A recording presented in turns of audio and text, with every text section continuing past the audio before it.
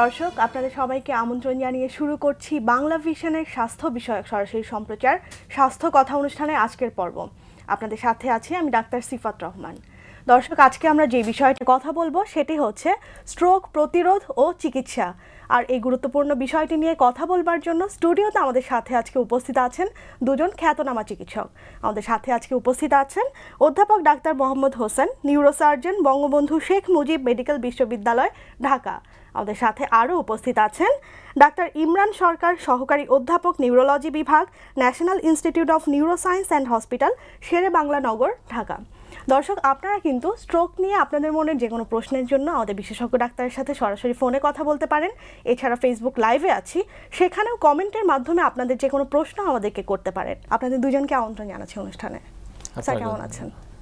Sir, আজকে তো আমাদের যে বিষয় সেটা হচ্ছে যে স্ট্রোক প্রতিরোধ ও চিকিৎসা। তো স্যার, শুরুতে একটু জানতে চাচ্ছি যে স্ট্রোক বলতে আসলে কি বোঝায় এবং মানে আমাদের সাধারণ মানুষদের জন্য একটু সহজ করে বলবেন যে আসলে স্ট্রোক বিষয়টা কি? স্ট্রোক মস্তিষ্কের রক্তবাহী নালিকার একটি রোগ। আমরা সবাই জানি যে আমাদের শরীর রক্তবাহী নালিকা এটা বলে আর্টারি ভেইন এবং ক্যাপিলারি রয়েছে। তো যে কোনো কারণে যদি এই আর্টারি ভেন বা ক্যাপিলারিতে রক্ত চলাচল ব্যাহত হয় বা রক্ত ক্যাপিলারি বা আর্টারি ছিঁড়ে গিয়ে রক্ত এক্সট্রা ভ্যাসেশন হয় তাহলে আমরা সাধারণত এটাকে স্ট্রোক বলি। আমাদের দেশে মানুষের একটি ভুল ধারণা রয়েছে স্ট্রোকের হয়ে গেলে রুগীগুলো এনআইসিপিতে চলে যায়। মনে করে যে হার্ট হার্ট অ্যাটাক হার্টের কোনো সমস্যা আসলে আমি যে সহজ ভাষায় বলি যে এটা হার্ট অ্যাটাক না, এটা ব্রেন অ্যাটাক এটা যদিও লেট টার্ম তারপরও আমি মানুষের বোঝার জন্য বলছি যে স্ট্রোক হলো ব্রেনের রোগ, এটা ব্রেন অ্যাটাক এবং এটা নিউরোলজিক্যাল ইমার্জেন্সি জরুরিভাবে চিকিৎসা করতে হয়। এই স্ট্রোকে যে জিনিসটা হয়, যে রক্তবাহী নালিকা, এই স্ট্রোকটি সাধারণত বেশি বয়স্ক মানুষের হয় তবে আমাদের দেশে এখন ডিজিজ প্যাটার্নের পরিবর্তন হয়েছে। যে কোনো বয়সেই শিশু ইয়াং অ্যাডাল্ট অ্যাডাল্ট এবং ওল্ড যে কোনো বয়সেই এখন স্ট্রোকের পেশেন্ট আমরা পাই। তবে সাধারণত যে অ্যাথোস্ক্লোরেটিক চেঞ্জ মানে রক্তবাহী নালিকা বয়স হয়ে গেলে তাদের লুমেনের যে লুমেনটা ছোট হয়ে যায় চিকন হয়ে যায় যার জন্য রক্ত ব্রেনে ভালোভাবে সরবরাহ করতে পারে না। অনেক সময় বন্ধ হয়ে যায়। বন্ধ হয়ে গেলে এটাকে বলে আমরা ইস্কেমিক স্ট্রোক হয়। আর কখনো কখনো ব্লাড ভেসেল, উচ্চ রক্তচাপ বা আরও অন্যান্য বিভিন্ন কারণে ছিঁড়ে গেলে মাথায় রক্তক্ষরণ হয়। এটাকে বলি আমরা হিমোলজিক স্ট্রোক। আচ্ছা স্যারের আলোচনায় যে কথাটি উঠে এসেছে যে হার্টের যে রক্তনালী, সেখানে যদি রক্ত চলাচল ব্যাহত হয়, তাহলে হার্ট অ্যাটাক হতে পারে এবং মস্তিষ্কের ক্ষেত্রে যেটা, যে কারণে স্ট্রোক হয়। তা হার্টে যেসব কারণে আসলে হার্টের রক্তনালীটা চিকন হয়ে যায় বা আথারোস্ক্লেরোসিস যেটাকে আপনারা বলে থাকেন, তো স্ট্রোকের কারণগুলো কি আসলে ঠিক একই কারণেই মানে মস্তিষ্কের রক্তনালীগুলো সরু হয়ে যায়? ধন্যবাদ আপনাকে। আসলে হার্টের রক্তনালী চিকন হওয়ার জন্য যে যে কারণগুলো আছে আসলে রক্তনালীর রোগগুলো সাধারণত একই রকম কারণেই হয়ে থাকে। যে যে কারণে রক্তনালী, হার্টের রক্তনালীগুলো চিকন হয় বা বন্ধ হয়ে যায়, ব্লক হয়ে যায়, ঠিক সেম কারণগুলোর জন্যই কিন্তু ব্রেনেরও আমাদের মস্তিষ্কেরও রক্তনালীগুলো চিকন বা সরু হয়ে যেতে পারে। তো কমনলি যেটা হয় যে কোলেস্ট্রল বা চর্বি যেটা, সেটা ডিপোজিট হয়ে, জমা হয়ে রক্তনালীর ভেতরটা ওয়ালটাকে আস্তে আস্তে বন্ধ করে দেয়। সেই রক্তনালী কোলেস্ট্রল জমার কারণ, সাথে আরও কয়েকটা কারণ থাকে। সেগুলো হচ্ছে যে, উচ্চ রক্তচাপ এবং ডায়াবেটিস বিশেষ করে যে ডায়াবেটিস থাকলে সেই রক্তনালীর বিহেভিয়ারটা চেঞ্জ হয়ে যায়। সুগার বেশি থাকার কারণে আরও কিছু অক্সিডেশন অনেক প্যাকারে জমাছে। কিন্তু মূল কথা হচ্ছে যে, উচ্চ রক্তচাপ কিংবা ডায়াবেটিস বা কেউ যদি লাইফস্টাইল সাধারণত দেখা যায় আমাদের যে লাইফস্টাইল সিডেন্টারি লাইফস্টাইল বলি যে আয়াসী জীবনযাপন করা এক্সারসাইজ কম করা কায়িক পরিশ্রমের পরিমাণটা কম করে শুধু আর আমরা বেশিরভাগ এখন ফাস্ট ফুড বা আপনার যে খাবার যেগুলোতে ক্যালোরি বেশি এই খাবারগুলো আমরা বেশি নিচ্ছি। এই খাবারগুলোতে চর্বির পরিমাণটা কোলেস্ট্রল পরিমাণটা অনেক বেশি থাকে যেগুলো রক্তনালীর ওয়ালে জমে জমে এটা ব্লক করে দেয় এবং চিকন হয়ে যায়। মস্তিষ্কে যেরকম রক্তনালী সরু হয় সেমভাবে হার্টেও হয়। কিন্তু স্ট্রোক শব্দটা আসলে স্যার যেটা বললেন এটা মস্তিষ্কেরই শুধু রক্তনালীর রোগ এটা। আচ্ছা। এটা হৃদরোগের যেটা রক্তনালীর রোগ সেটা হার্ট হার্ট অ্যাটাক অথবা মানে সাধারণ মানুষ দেখা যায় এই বিষয়টা নিয়ে খুব মানে একটা কনফিউশন তৈরি করে। হার্ট অ্যাটাক আমরা বলি। আচ্ছা।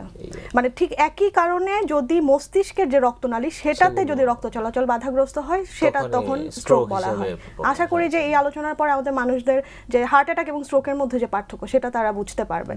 আচ্ছা স্যার আপনি একজন নিউরোসার্জন এবং হচ্ছে যে সার্জারির যে বিষয়গুলো সেগুলো নিয়ে আপনি কাজ করেন। তো স্ট্রোকের ক্ষেত্রে আসলে সার্জারির ভূমিকাটা কি? আমি এর আগে কিছু কথা আপনাদের বলতে চাই দর্শকদের জ্ঞাতার্থে। সেটা হলো যে স্ট্রোকের কি কারণে হয়? আমরা এটাকে বলি প্রিডিসপোজিং ফ্যাক্টর প্রিডিসপোজিং ফ্যাক্টরের মধ্যে যেমন হাইপার টেনশন ব্লাড প্রেশার যাদের উচ্চ রক্তচাপ থাকে ডায়াবেটিস থাকে সিগারেট বা টবাকো গ্রহণ করে বা অতিরিক্ত অ্যালকোহল গ্রহণ করে, এগুলোকে আমরা প্রিডিসপোজিং ফ্যাক্টর বলি। আর হলো যে কারণে হয়, এটা তো এর আগেও বলেছি যে রক্তবাহী নালিকার রোগ। এখন রোগ এটা অ্যাথ্রোস্ক্লিরিক চেঞ্জের জন্য হতে পারে অথবা রক্তবাহী নালিকায় অনেক সময় অ্যাবনর্মাল কিছু পরিবর্তন হয় যেমন অ্যানিরিজম হতে পারে এভিএম হতে পারে এইরকম বিভিন্ন ধরনের গঠনের পরিবর্তন হতে পারে। স্যার এই গঠনের পরিবর্তনগুলো কি জেনেটিক কোনো ধরনের প্রিডিসপোজিশন থাকে? এটা আসলে খুব আমরা এক্স্যাক্টলি বলতে এখনও পারি নাই যে এটা হেরিডিটারি কোনো সমস্যা আছে কিনা বা জেনেটিক কোনো সমস্যা আছে না কিনা বা এনভায়রনমেন্টাল কিছু সামো- সমস্যা আছে কিনা কি আমরা এটা নির্দিষ্টভাবে এখনও আমরা বলতে পারিনি। তবে যে প্রিডিসপোজিং ফ্যাক্টরের কথাগুলো বললাম এগুলা এইগুলাই এই স্ট্রোকের ঝুঁকিটাকে বাড়ায়। আচ্ছা। তো যাই হোক আপনি যেটা বললেন যে স্ট্রোকের চিকিৎসার ক্ষেত্রে স্ট্রোক আসলে একটি প্রিভেন্টেবল রোগ। তো এখানে স্ট্রোকের চিকিৎসার জন্য বেশিরভাগ স্ট্রোকই ওষুধ দিয়ে ভালো হয় মেডিকেল ম্যানেজমেন্টেই ভালো হয়। কিছু কিছু স্ট্রোকের ক্ষেত্রে সার্জিক্যাল ম্যানেজমেন্টের প্রয়োজন হয়। তো সার্জিক্যাল ম্যানেজমেন্ট তখনই প্রয়োজন হয় যখন স্ট্রোকের মাত্রাটা অনেক বেশি থাকে। সেটা স্কিমিক স্ট্রোকে হোক বা হেমোরেজিক স্ট্রোকে হোক।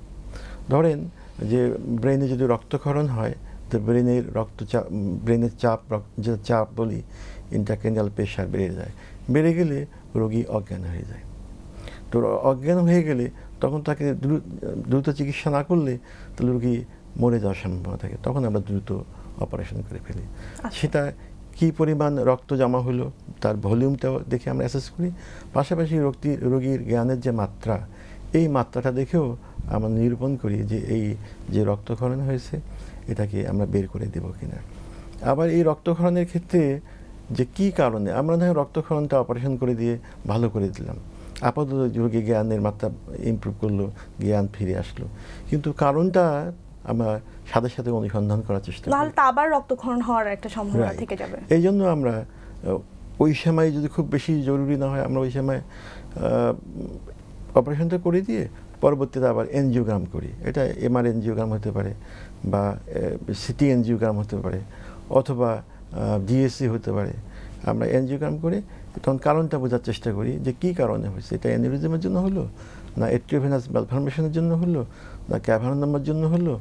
তখন আমরা সেই ডেফিনিটিভ সার্জারি করি। তবে যদি সময় থাকে কখনো কখনো আমরা একই অপারেশনে রক্তটা বের করে দিয়ে অ্যানুরিজম থাকলে অ্যানুরিজম ক্লিপ করে দিই এভিএম থাকলে এভিএমটাকে এক্সারসাইজ করে দিই দিয়ে সারিয়ে তোলার চেষ্টা করি। আচ্ছা। আর যদি ইস্কেমিক স্ট্রোক হয় বেশিরভাগ ইস্কেমিক স্ট্রোকের ক্ষেত্রে ওষুধে ভালো হয়। এখন অনেক নতুন নতুন ওষুধ আবিষ্কার হয়েছে। যেমন tissue, plasma activation factor TPA আছে। এগুলো দেওয়া হয়। এটা কখনো কখনো আর্টারিতে দেওয়া হয়, কখনো কখনো সরাসরি যেখানে ইস্কিমিয়া হয়, ওই সাইটে দেওয়া হয়। দিলে ভালো হয়ে যায়। আর এমনি যে ব্লাড থিনার যে ড্রাগগুলো আছে, এগুলো ইউজ করা হয়। কিন্তু যদি বড় কোনো ভ্যাসেল বন্ধ হয়ে যায় তাহলে হয় কি ব্রেনের বড় একটা অংশ রক্ত সরবরাহ বন্ধ হয়ে গেলে আবার ব্রেন সোয়েল আপ হয়ে যায় রোগী অজ্ঞান হয়ে। তখন কি মানে সার্জারি তখন স্বর্ণাপন্নই হতে হয় সার্জারি করতেই হয় আচ্ছা। তখন ব্রেনের আমরা একটা বলি বেশিরভাগ ক্ষেত্রে বলি ডিকম্প্রেসিভ ক্র্যানিয়েক্টমি ব্রেনের বড় একটা অংশের হাড় মাথার খুলে আমরা রেখে দিই পরে রোগী যখন ভালো হয়ে যায় জ্ঞান ফেরে পরবর্তী আবার সে হার আবার প্রতিস্থাপন করা হয় আগের মতো করে। হ্যাঁ আচ্ছা। প্রতিস্থাপন করা হয়। আচ্ছা স্যার বলছিলেন যে যাদের উচ্চ রক্তচাপ আছে যাদের ডায়াবেটিস আছে তারা একটা হাই রিস্ক গ্রুপে অবস্থান করছেন স্ট্রোকের ক্ষেত্রে। তো যারা অলরেডি জানেন যে তারা ডায়াবেটিস বা উচ্চ রক্তচাপ আক্রান্ত তো তারা কি স্ট্রোকের তাদের কোনো রিস্ক আছে কি না এটা আসলে তারা কীভাবে বুঝবে আগে থেকে? মানে যদি তারা স্ট্রোকটাকে প্রিভেন্ট করতে চায়। অ্যাকচুয়ালি স্ট্রোকের আমাদের স্যার বলছেন একটু আগে যে আমাদের স্ট্রোকের আসলে প্রথমত স্ট্রোকটা আমাদেরকে ডিটেক্ট করতে হবে দুইটা কারণ। মূল কারণ হচ্ছে, একটা হচ্ছে যে ইস্কেমিক স্ট্রোক বা রক্তনালী বন্ধ হয়ে যাওয়ার কারণে রক্ত সরবরাহ কম হওয়ার কারণে একটা স্ট্রোক হয়। আর একটা স্ট্রোক হচ্ছে হ্যামোরেজ বা রক্তক্ষরণ হয়। তো দেখা যাচ্ছে যে দুইটা দুইটা গ্রুপের কারণ কিন্তু ভিন্ন। সাধারণত ইউজুয়ালি দেখা যায় যে রক্তনালী বন্ধ হওয়ার কারণগুলো সাধারণত আমাদের ওষুধ এবং লাইফস্টাইল মডিফিকেশন এগুলোর মাধ্যমে বেশি আমরা প্রিভেন্ট করতে চাই এই ইস্কেমিক স্ট্রোকটা আর হেমোরেজিক স্ট্রোকটা আসলে আমাদের কারণের মধ্যে সবচেয়ে প্রধান কারণ হচ্ছে উচ্চ রক্তচাপ। যে দেখা যাচ্ছে যে রোগীদের অনেক প্রেশার নিয়ে কিছুদিন আগে আমার চেম্বারে এক রুগী আসছে উনি অন্য সমস্যার কারণে আসছে পায়ে ব্যথার জন্য। কিন্তু ব্লাড প্রেশার মেজার করে দেখলাম যে ওনার দুইশো বিশ বাই একশো বিশ। সাধারণত আপার রেঞ্জটা হচ্ছে একশো চল্লিশ উপরেরটা নিচেরটা নব্বই। একশো চল্লিশ বাই নব্বই ওয়ান ফোরটি বাই নাইনটি কিন্তু উনি টু হান্ড্রেড টোয়েন্টি দুশো বিশ বাই একশো বিশ এই প্রেশার নিয়ে উনি চলতেছে। কিন্তু হয়তো মাঝে মধ্যে মাপে কিন্তু বলল আমি এটাকে গুরুত্ব দিই এবং উনি হাই প্রেশারের জন্য হয়তো কোনো ধরনের ওষুধ ওষুধ মেডিকেশন নিচ্ছেন না। তো দেখা যাবে হঠাৎ করে যে উচ্চ রক্তচাপ যদি মানে রেঞ্জের উপরে থাকে বডি ট্রাই করে, আমাদের মস্তিষ্ক বা হার্ট দুইটাই কিন্তু আসলে সৃষ্টিকর্তা আমাদের এমনভাবে তৈরি করেছেন কিছু আমাদের নিজস্ব মেকানিজম থাকে এগুলোকে প্রিভেন্ট করার জন্য।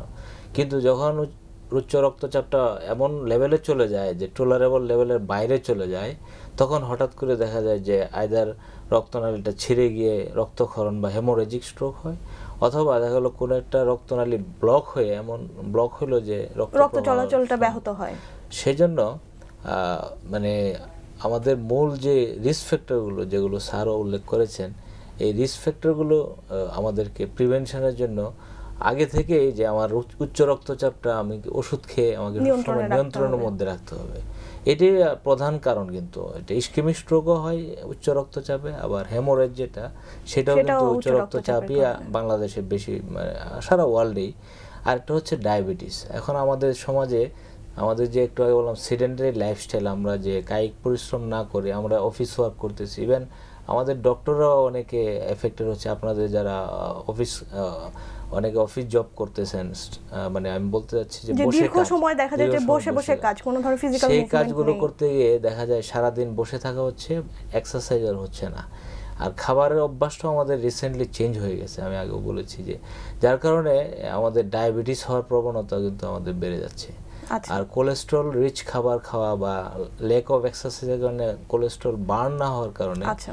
এগুলো জমে আমরা লাইফস্টাইল বিষয়ে আরও ডিটেলে কথা বলব। আমাদের সাথে ফোনে একজন দর্শক অপেক্ষা হচ্ছেন দর্শক আপনার নাম বলে প্রশ্নটি করুন।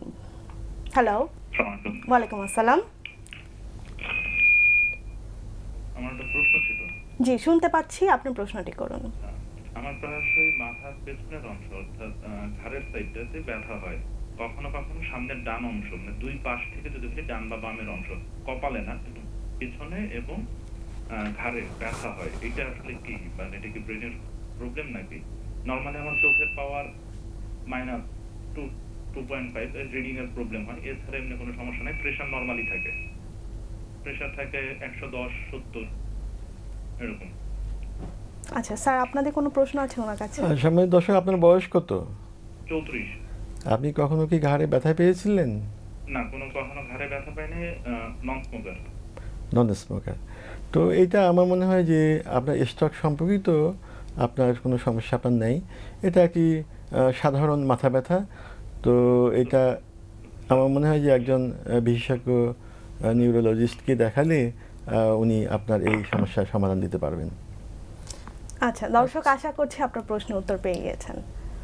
স্যার, এখনকার সময় তো ওবেসিটি একটা খুব জটিল একটা সমস্যা এবং অনেকের মধ্যেই দেখা যায় যে ওবেসিটি বা অতিরিক্ত স্থূলতা এই সমস্যাটা দেখা যায়। তো এই শ্রেণির মানুষগুলো কি আসলে স্ট্রোকের জন্য কি ঝুঁকিপূর্ণ অবস্থানে আছেন? অবশ্যই। অবেসিটি একটি বড় সমস্যা। ওবেসিটি শরীরের সবগুলো সিস্টেমকে প্রভাবিত করে এবং এটা ব্রেনকেও প্রভাবিত করে এবং ওবেসিটি যাদের থাকে বেশিরভাগ ক্ষেত্রেই তার উচ্চ রক্তচাপ হওয়ার সম্ভাবনা বেশি থাকে, ডায়াবেটিস বেশি হওয়ার সম্ভাবনা থাকে। যদিও কিছু কিছু অবিস পেশেন্টেরও আমরা ব্লাড প্রেশার কম পাই। তারপরেও এই এই সম্ভাবনা যেটাই হোক, যে তাদের স্ট্রোকের ঝুঁকিটা বেশি থাকে। এই অবেসিটি যাদের আছে, তো অবেসিটির কারণটা নির্ধারণ করতে হবে, যে কী কারণে? তার হাইপোথাইরয়েডিজমের জন্য অবেসিটি হচ্ছে? না তার ফ্যামিলিয়াল না তার এই লাইফ স্টাইলের জন্য? বা সে বেশি খাচ্ছে কম কাজ করতেছে এই জন্য এটাকে ঠিক করতে হবে দেখতে হবে। দেখে অবশ্যই অবেসিটিকে নিয়ন্ত্রণ আনতে হবে। আচ্ছা।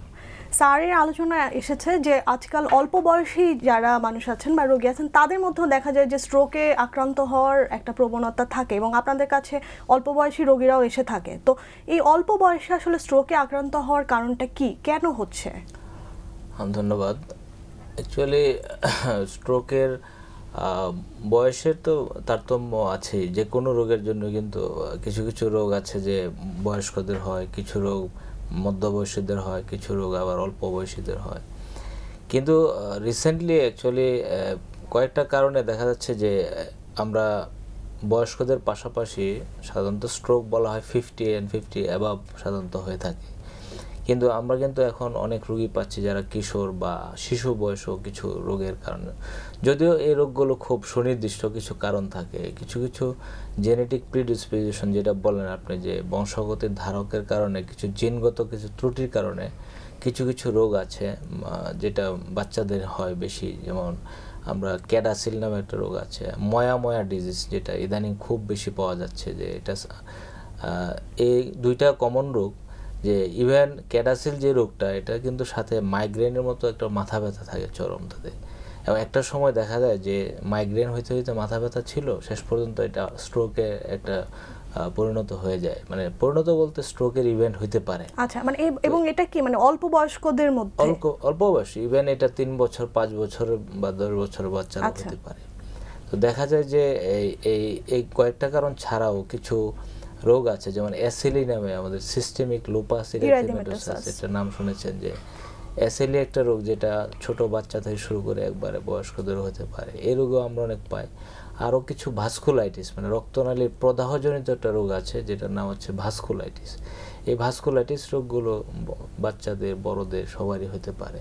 সেই হিসাবে আমরা অনেক বাচ্চাদেরও আমরা এই রোগগুলো পেয়ে থাকি আর কি। আচ্ছা। স্ট্রোক পাচ্ছি আমরা। আচ্ছা স্যার এই বিষয়ে আরও জানব এখন একটি ছোট্ট বিরতিতে যাব। দর্শক, এখন যাচ্ছি ছোট্ট একটি বিরতিতে। বিরতির পর ফিরে আসছি আবার গুরুত্বপূর্ণ আলোচনা নিয়ে। কোথাও যাবেন না ওদের সাথেই থাকুন।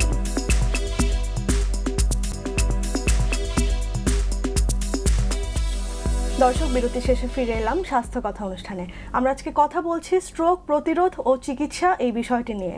আর এই বিষয় নিয়ে কথা বলবার জন্য আমাদের সাথে আজকে স্টুডিওতে উপস্থিত আছেন অধ্যাপক ডাক্তার মোহাম্মদ হোসেন, আমাদের সাথে আরও উপস্থিত আছেন ডাক্তার ইমরান সরকার।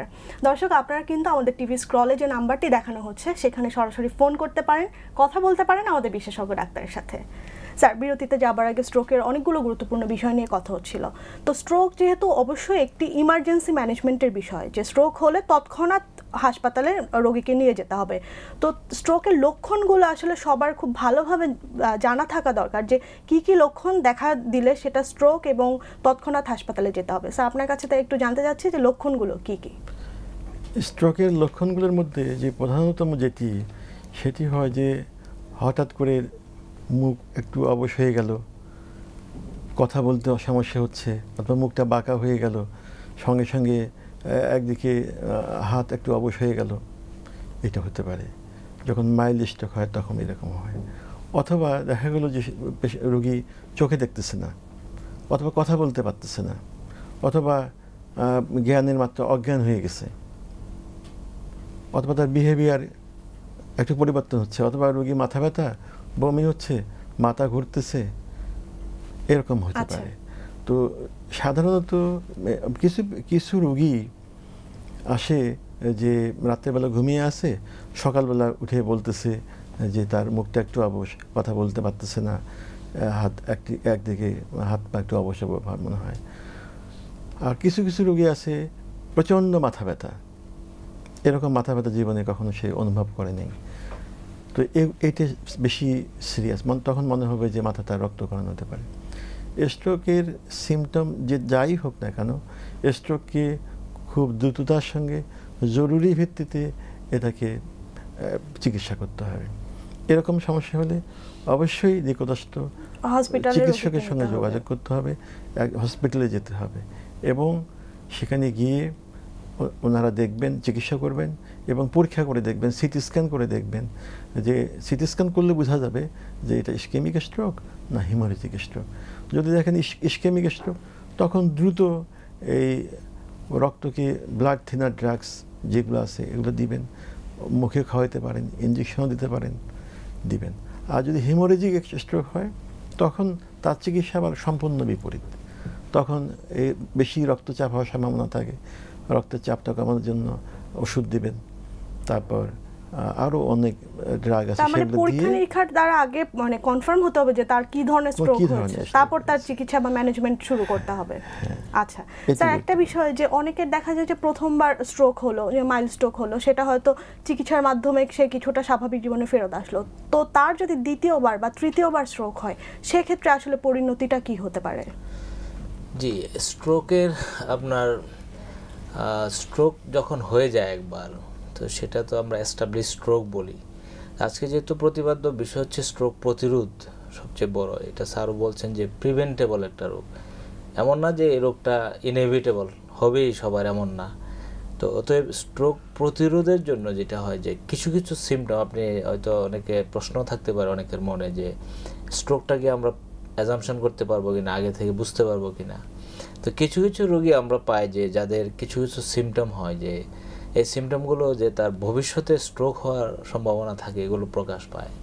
এবং যে কথাগুলো স্যার বললেন যে হঠাৎ মুখ বেঁকে গেল কিংবা হাত পা একটু অবশ ভাব হয়েছে অথবা কথা জড়িয়ে আসতেছে তিনটেই কিন্তু প্রধান লক্ষণ সাধারণত ইস্কেমিক স্ট্রোকগুলো আর হেমোরেজিক স্ট্রোকে কিন্তু আপনার মাথা ব্যথা হয় যেটা স্যার বলছেন প্রচণ্ড মাথা ব্যথা হয় বমি হইতে পারে যেহেতু মস্তিষ্কে রক্তক্ষরণ হয়ে তো যেই সিমটমগুলো প্রিজামটিভ যে সিমটমগুলো আমি বলতেছিলাম সেটা হচ্ছে ইস্কেমিক স্ট্রোকের জন্য বেশি প্রযোজ্য আর কি। যে আগে থেকে আপনার রোগীদের হঠাৎ দেখা গেলো একটু মুখটা বেগে গেছে এক ঘণ্টা পরে আবার নাই বা আধা ঘণ্টা পরেই নাই। হঠাৎ একটা হাত একটু দুর্বল হয়ে গেল আধা ঘণ্টা বিশ মিনিট পরেই নাই। চোখে যেটা অনেকের হঠাৎ চোখে কিছুই দেখতেছে না যেটা blurring of vision. Blurred vision তো ব্লাড ভিশনের কিন্তু একটা কারণ হচ্ছে চোখের যে রক্তনালী আছে সেই রক্তনালীটা ব্রেনের ভিতর দিয়ে গেছে সেটাও সরু হয়ে গেলে এটা হতে পারে।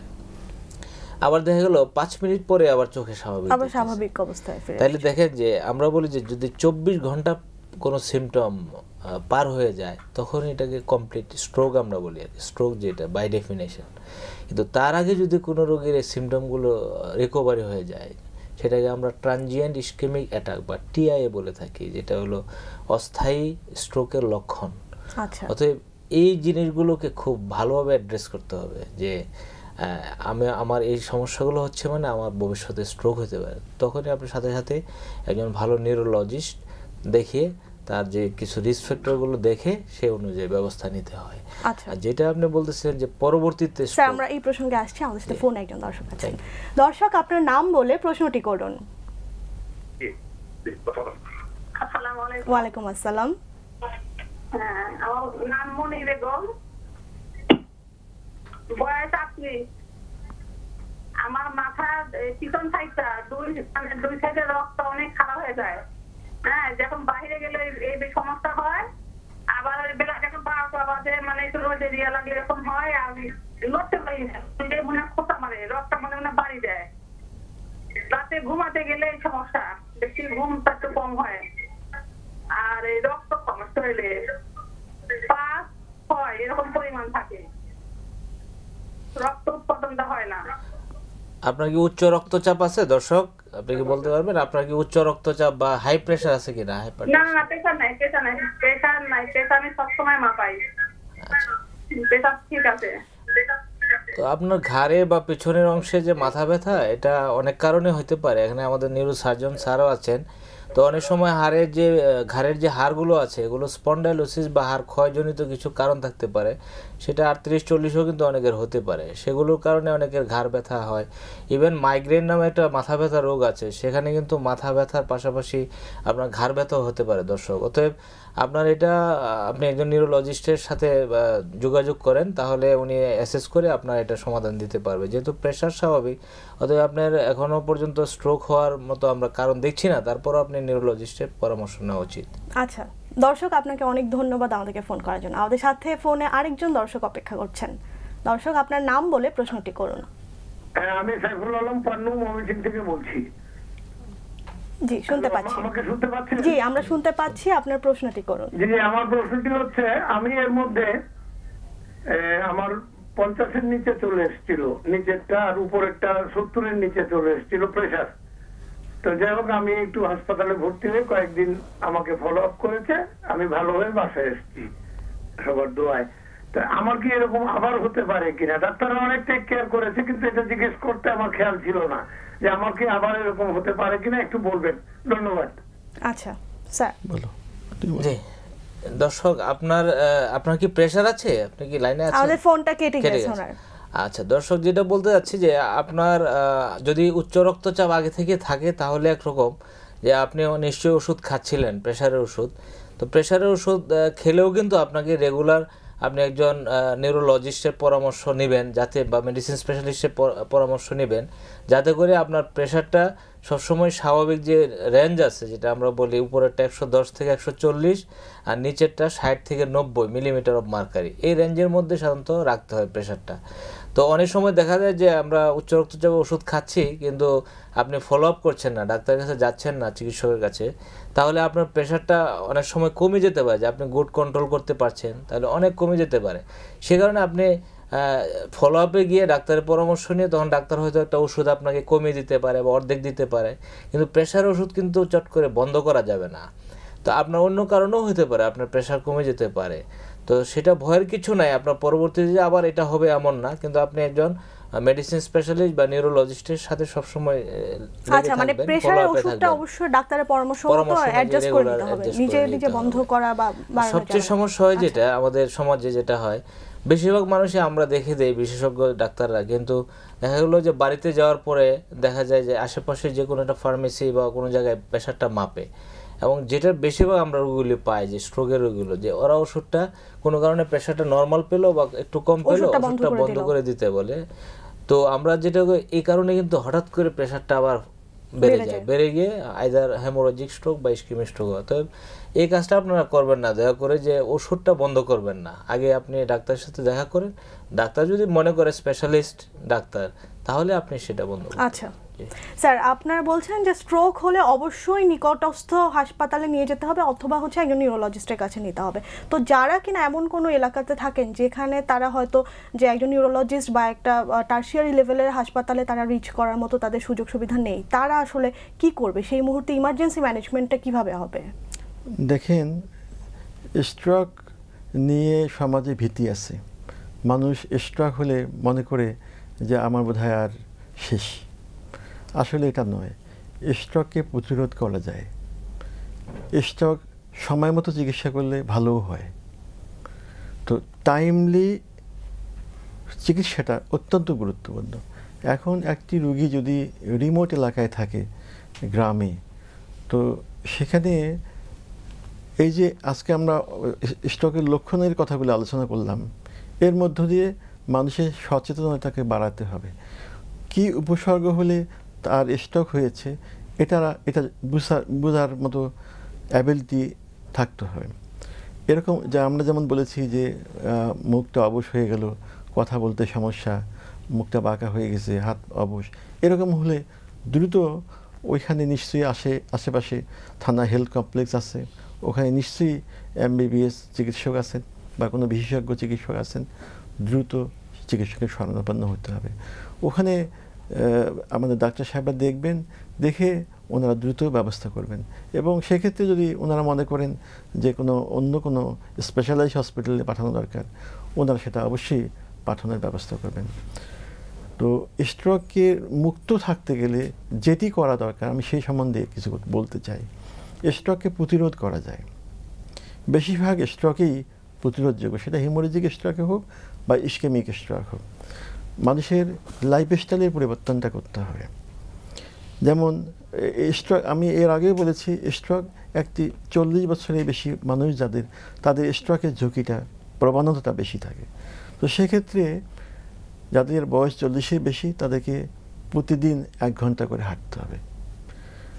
টাইমলি খাওয়া দাওয়া করতে হবে টাইমলি ঘুমাতে হবে। তার যদি উচ্চ রক্তচাপ থাকে অবশ্যই এই চিকিৎসকের পরামর্শ নিয়ে নিয়ন্ত্রণ রাখতে আচ্ছা। ডায়াবেটিসকে নিয়ন্ত্রণ রাখতে হবে। তারপর টবাকো ধূমপান করা যাবে না। অ্যালকোহল ধূমপাই তাদের অবশ্যই ধূমপান অবশ্যই। মানে ধূমপান মানে বিষ পান।